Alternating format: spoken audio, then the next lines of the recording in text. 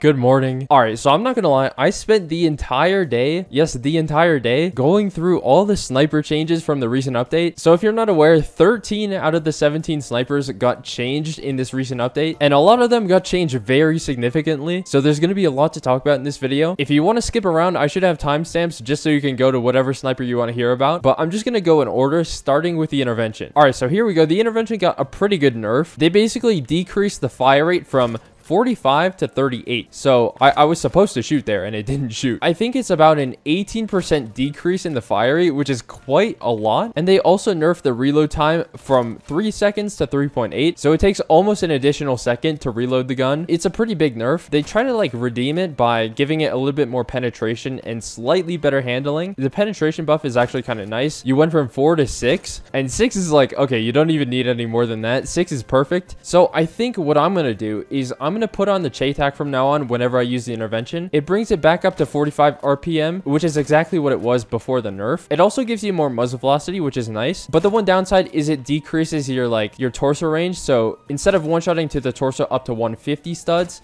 it only goes up to like 100 and i mean that's not that bad okay it's it's a lot worse than what the CheyTac was before but i kind of prefer this to the non-CheyTac intervention now because i just i can't really deal with 38 rpm it's just not how i want to use the intervention i wouldn't necessarily say the CheyTac makes the intervention better I just like it for my playstyle better. So yeah, if you want to try it out, like go ahead. I think the CheyTac before was like kind of very underrated anyways. See what I'm saying? Like I wouldn't be able to do that if it was 38 RPM. They also changed the bolt, which is kind of like weird. You can't really tell now because I have straight pull on, but the bolting animation or the new one looks kind of weird. I don't really know why they felt the need to change it, but I mean, all right. Anyways, yeah, that was the intervention. All right, here we go. Next is the R700, or should I say the Model 700, because they did change the name. Now, okay, this gun, okay, let me tell you, it, it got the biggest nerf in the history of nerfs, okay? The minimum damage went from 60 to 59. That is just crazy. All right, anyways, they also added the 32 ACP conversion, which is an awesome conversion that makes your gun basically like kind of like a baby scout in a way. So I'm just going to put on some attachments and we're going to see what this does. So, all right, so basically just take the scout, give it less bullets, less muzzle velocity, and uh, worse penetration, but give it a little bit better handling and a little bit better reload time. And that's basically this gun. It's, it's really, really fun to use though. I mean, it's kind of a challenge because the bullet drop is so bad. It's got 2400 muzzle velocity, which is basically atrocious. But like I said, it's very, very fun to use. I don't, I don't know if I would recommend using it on like, or using it with a sniper scope. But I mean, I'm not going to lie. It's so fun because the handling is just so insanely good. It's almost a bit more like fun than the Scout in a way. I would still say the Scout is better, but if you can't afford the Scout and you have the R700 and you have like a few kills on it, then I would say give it a try. It's very, very fun, like I said. Oh yeah, and the one thing you want to do with this is kind of just like stay scoped in as you're shooting it. As long as you have the straight pull on, you can also use this without straight pull or marksman kit. Just don't use a scope. Use like maybe a coyote or the iron sights and just run this as like a mini headshot machine. Obviously, this isn't the way I would play because I'm not that great at using red dots on snipers, but I'm sure it suits some playstyles. Anyways, yeah, that was the R700. Moving on to the SVU. This got kind of a little bit of a change. They got rid of the long barrel on this, which kind of made your headshot range better. However, they increased the muzzle velocity to 2800. Okay, you have 150 RPM, right? I think it's 150. Yeah, 150 RPM, 2800 muzzle velocity, one shot headshot up to like 180 studs. If you're good at headshotting, this could be like super good at medium range. Obviously, I am not, so it's going to be hard to demonstrate that. I think they should increase the muzzle velocity a little bit more just to make it like just that much more usable because I don't see people use this very often at all. It doesn't seem too worth it to use, but maybe there's a case for it because of the muzzle velocity increase. Yeah, anyways, um, moving on to the AWM. This gun got destroyed, by the way. All right, so let me put on marksman kit real quick. Basically, they decrease the fire rate all the way from 55 to 45. So a whole 10 RPM decrease when this gun was already kind of bad, they increased the one-shot torso range a little bit. So now one-shots to the torso up to like 90 studs. Before it was like 80 or something. All right, map change. But yeah, I need to tell you like why this gun is so bad. It is exactly a CheyTac intervention, except worse in pretty much every single way. So they both have 45 RPM. That's kind of like the base of the two. This only has five bullets compared to the intervention's seven. This has a 90 stud one-shot torso range compared to the intervention CheyTac's 100. And this also has worse muzzle velocity and worse penetration. So it's literally like less bullets, less damage, less muzzle velocity, less penetration. I hit my mic. The only thing this has over the CheyTac intervention is like handling and reload speed. And that's it. Okay. It's just not worth using. It is so bad. The op is just so much better. Okay. We're going to talk about the op in like two seconds. Okay, they they did change the muzzle velocity to 3000 though, which is like, you know, it's it's it's okay, but it doesn't redeem the gun whatsoever. It's still like kind of trash. All right, here we go. Let's look at the op because uh, this conversion just basically makes the gun one of the best snipers in the game. So we go from 45 RPM to 65, a whole 20 RPM increase. You get a little bit less damage, a little bit less muzzle velocity, and I think a little bit less penetration, which are kind of like minor stats, but the big thing is that you get more bullets, okay? The mag size literally doubles. So you go from 5 bullets to 10 bullets in your mag. And that's like one of the most important things aside from like the 65 RPM. But yeah, I would highly recommend the op conversion. It's just the 308 Winchester. So if you have it, then definitely put it on. It's like the AWP except 10 times better. So do that, especially because like it's such a clean looking gun. It'd be a shame to just not use this. All right, let's look at the TRG. The TRG got some interesting changes. It really depends on how you look at it, but it could be bad, it could be terrible, or it could be good. So basically, they got rid of the one-shot torso range. Um, yeah, that's kind of interesting. No torso multiplier anymore. They're kind of like trying to lean into that niche of the TRG having 100 damage at close range. So yeah, they got rid of the torso multiplier. Instead of one-shotting to the limb up to 30 studs and the torso up to like 120 or something, you now one-shot limb and torso up to 60 studs. So it's very interesting. They also decreased the RPM by 5, so it went from 45 to 40, which I just find very, very just questionable. I, I mean, I don't really feel like the damage change is a buff. It doesn't, it seems more like a rework slash a nerf than a buff because, bro, what are you doing with like 60 stud torso range with 40 RPM, that just doesn't sound good. Like there is a very specific situation you need to use this gun in to make use of that 60 stud limb shot. You'd have to be like an ultra good headshot user and just use this gun uniquely at long range and only whip it out at close range when someone rushes you. Like if I was just sniping here and I was like great at headshots at long range and then there's a guy who rushes me like here and I'm just terrible at hitting torso shots or something. I don't know. Like it's a very specific use case. It might work. It might not work. I don't know. The, the one thing I know is like not many people are going to want to use a 40 RPM gun with only 60 stud torso range. Like I don't know how useful that like limb shot range is maybe it's pretty useful. I don't know. Now, there's also the TRG-22 kit, which is kind of interesting. It increases the fire rate by quite a bit, okay? It goes from 40 to like 60, and you still retain a one-shot torso range. It's up to like 60 studs. It gets rid of your one-shot limb range, which is like, I don't know. It's kind of weird. This is basically just an op, except less fire rate, but you have slightly more torso range and a little bit more pen. There we go. I'm not gonna lie, I kind of like the TRG with 60 RPM. It's it's pretty fun to use. I can't say it's like the best gun in the world, but if it's kind of up there with the off, then it, it, it's probably like pretty good at least. So yeah, if I were using the TRG, I can't really find a great use case for like the 60 stud one-shot limb range. I, I can't justify it with no torso range basically. So I would probably use the TRG 22 kit, but that's just me. All right, now we're gonna talk about the Mosin. So they did a great thing with the Mosin. They finally brought back the four times magnification on the iron sights. So if you didn't know, they changed it to two two and no one liked it and everyone complained about it so they brought it back to four now and it just it's so refreshing finally being able to use the iron sights on the Mosin again. If you really want, they added the alt aim so you can go back to the like two times. Just press T if you want to, but I'm I'm sure no one's gonna be doing that. Uh oh, uh oh, I'm dead. Goodbye. What is he doing? What? Are, why? Why do you? Oh, he just killed him. What? All right, and they also increased the muzzle velocity up to 3,000. Originally, I think it was 2,800, so that's also a really nice change. Basically, they just did some quality of life changes to the Mosin and made it just, you know, a little bit more usable, which I'm very happy about. Like, it's been a while since I used the Mosin. I mean, I used it recently in a video, but it's just like, it's not the same when the magnification is just all messed up. So yeah, I'll probably be using the Mosin way more often now. And honestly, you don't even need attachments on this. It's just, it's good with no attachments I guess you could run like skeleton grip if you want, or you could even go with a full sight setup, but I mean, you, you kind of gotta use the iron sight now that it's back.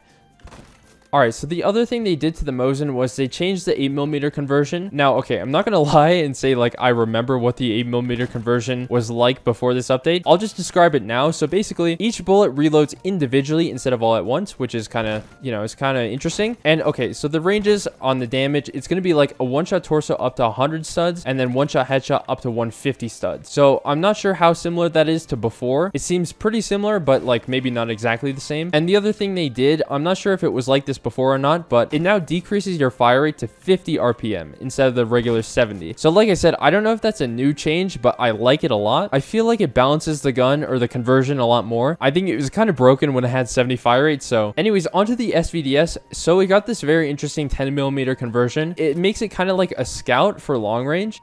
I mean, it has reverse damage, right? So you're not going to one-shot head until you're past like 50 studs, which is kind of weird. So yeah, definitely do not use this at close range at all. Try to avoid that as much as possible. But it has 90 RPM and it one-shot headshots like all ranges past 50 studs. So it's basically a scout, except you get like a little bit different handling. You know, the SVDS has kind of weird handling. But the nice thing is it's semi-auto. And the other nice thing is that it's a two-shot at long range rather than like a four-shot, which is what the scout is. So if you're kind of like someone who wants to use the scout because it shoots fast, right? But you're not sure of your like headshot capabilities and you don't want to take four entire shots to kill, then this could be a pretty decent conversion for you. Personally, like I wasn't convinced at the start, but these like reverse damage guns are actually pretty interesting. So yeah, there's that. I don't know if I'm going to use it too often, but maybe I'll come back to it every once in a while. And for the M1903, the iron sights also got increased on the sight magnification. So it's now four times and they added this very interesting suppressor. It has a lot of downsides, which I mean, there's just a lot, but the gun literally does not make any sound at all.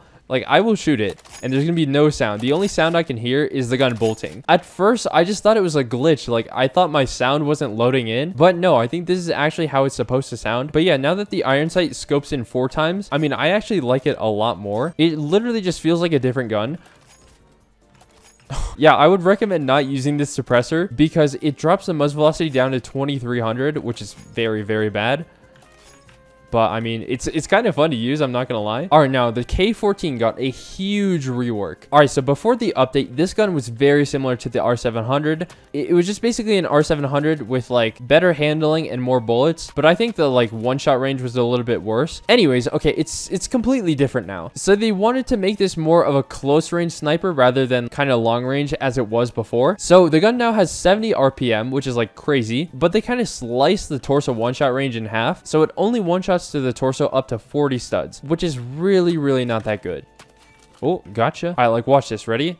Oh, he's dead. So it's now kind of just like a close range Mosin. I don't know if that's a great comparison, but they both have 70 fire rate. This just has like a slight one-shot torso range at the expense of like muzzle velocity because the Mosin has 3000 muzzle velocity. This only has 2500. And I think 2500 is the exact same as uh, the AWS. So it's, it's like really bad. I mean, the gun can also still be used at long range, but you kind of have to know what you're doing. You, have you have to be like ready to embrace the bad muzzle velocity and the bad bullet drop, which I don't know if I'm capable of doing, to be honest. I'd rather just use a Mosin. This does have 10 bullets by default, though, so that's kind of a plus. And the handling is actually very good on this gun, so I think it's a very interesting change. For some reason, I feel like Phantom Forces is just way more difficult today. Like, everyone is playing out of their minds today, and I, I can't really explain it. And the K14 also has this conversion, which makes it kind of similar to the the old K14 except a little bit different. So it gives it 60 RPM instead of the old 50, but the one-shot torso range is a little bit less. I think it's like 66 if I'm remembering correctly, which maybe not.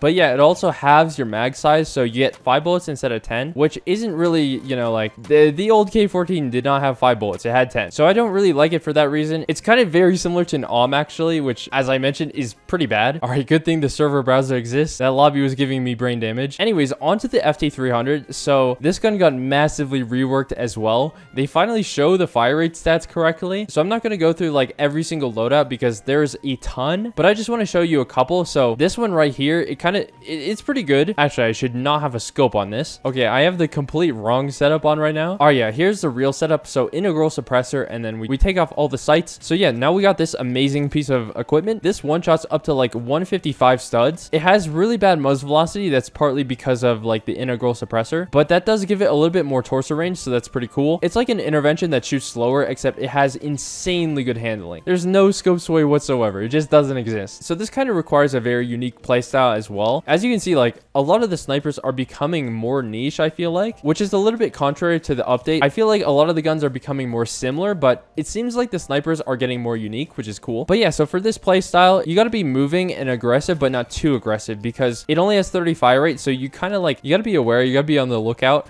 but it does one shot up to 160 studs to the torso. no.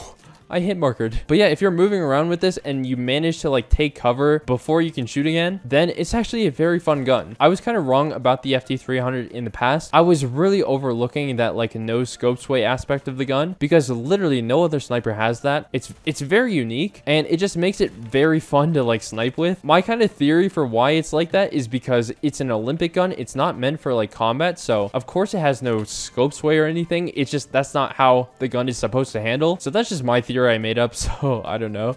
But as you can tell, like the gun is very fun. It has pretty good penetration as well. But yeah, this is one setup. Uh, thanks to Ruby for telling me about this. I don't think I'd be able to come up with the setup myself. I've also been trying the 22 LR conversion. So this is like also a pretty decent setup. It's not that good, but once again, it's very fun. It's just a headshot aim trainer, basically. You get a 55 bullet mag, so you never have to reload. And the muzzle velocity is, I think it's pretty decent. It's like 2,700. So yeah, okay, it's not that great, but it's not bad at all. And yeah, because there's no like scope sway or anything, it's basically an aim trainer. That's how I like to look at it. And you don't have to ever worry about reloading because the mag size is just 50 bullets. Okay, for overall for this gun, I don't really know what they changed about it. It just seems different. I don't know. The whole like spiel with this gun is just you're playing around with the conversions that basically changed like the muzzle velocity and the damage ranges and the damage and that's basically it and the fire rate a little bit. So overall it's like it's not the best gun. It's not gonna like make you do extremely well but it's very fun okay? So i've kind of changed uh course on this gun. I used to hate it and now i think it's actually pretty cool. All right anyways next is the m107 it got a little bit of a recoil buff and not much to talk about here. I don't know why they buffed it but they did so there you go. I don't really use this gun ever so i can't really tell the difference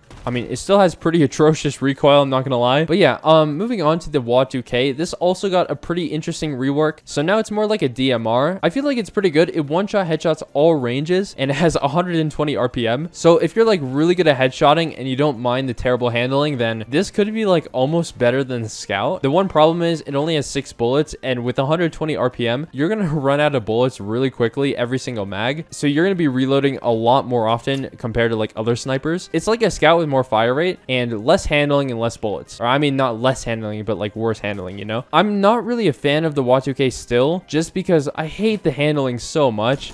It makes me want to quit sniping, to be honest. Uh, that's kind of harsh, but that's just how I feel about it. I think it would take a lot of getting used to, which is like something I just don't want to deal with. All right, we won the game. Let's go. Now I want to talk about the conversions for this gun. So the 300 Win Mag is just a joke. Like, it's an absolute joke. It takes away your one-shot headshot all ranges. They say it acts like an SVU, but it's basically just oh, an SVU except way worse. Like, there's no upside to this at all. I mean, you do get a two-shot all ranges, but that's it. It gets rid of your one-shot headshot. It gets gets rid of your muzzle velocity. Like it, it it's just so bad. I don't understand it at all. So the 7.5 millimeter conversion is decent, I guess. It's got about a 68 stud one shot to the torso and has 90 RPM. So it behaves a lot like the old WA2K. But yeah, the problems are still like low mag size and just bad handling. So personally, I probably wouldn't use it, but you go ahead and try if you want. And okay, lastly, they changed the NTW. They buffed it a little bit. Um, for for whatever reason. So now it just has more penetration and like yeah, just more penetration, better muzzle velocity, better walk speed. They added a heavy barrel to it as well. So I don't think I would go without the heavy barrel. Like I think it's always good to have the heavy barrel on. And to be honest, like they, they I think they buffed all the conversions, but I still probably wouldn't use the 14.5 millimeter because it takes away your one shot torso all ranges. Yeah, I would just probably go with like the 20 millimeter or just the regular NTW. I think the 20 millimeter conversion has like 35 studs of penetration. So that's, I mean, it's a lot. So yeah, they, I mean, they did buff the gun, which some might find like confusing. Like, why did they do that? I kind of almost understand it though, because it seems like this gun is great up until you use it. And then you realize like, it's not really that good. I mean, it's good for like singular kills, but for doing well in a round, it's just not that good at all. I mean, I would rather use the BFG than this for sure. I mean, the wall bangs are pretty good though. I mean, yeah, it's ENTW, You know the drill. Like, you only use this if you're just a wall bang enthusiast and just want to like annoy people. All right, I'm going to put on the 20 millimeter to end the video off. Dude, one day I just want to be like, bam, and just get a kill or like a collat or something. That would be so cool. So this is like the guy I die to every single game. Like this, this is him right here. Th yeah, this is him. Bro, who you shooting at? Could you shoot from here to the other side of the map? Probably. Okay, I got whoever that was.